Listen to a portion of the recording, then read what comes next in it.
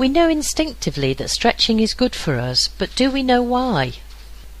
Well, one reason is when the muscle fibres shorten and tighten, blood flow slows and the body finds it difficult to get rid of toxins.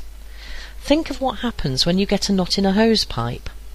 By lengthening the muscle and stimulating blood supply, you release the blockage and allow toxins to flow out and nutrients to flow in. Another reason that stretching feels good is that it loosens the tendons and ligaments around your joints and allows them to function more smoothly.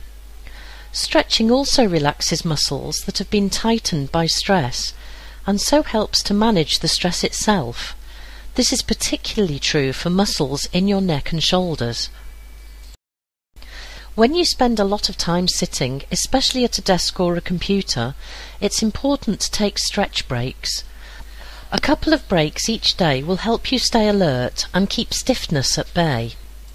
Here are two easy stretches for you to try at work. Make sure the chair you are using is sturdy and remember never to stretch to the point of pain. Hold each stretch for 15 to 30 seconds, repeating two or three times, depending on how you feel. Firstly, let's try the neck stretch.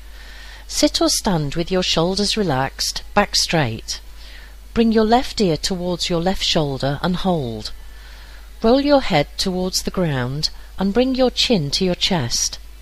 Hold and finally roll your head to the right and bring that ear to your right shoulder. Inhale and exhale in a slow and controlled manner. Now try the torso stretch. Clasp your hands together and slowly raise them above your head towards the ceiling. Reach as high as you can while inhaling deeply and hold for 20 to 30 seconds. Bring your hands down slowly while exhaling.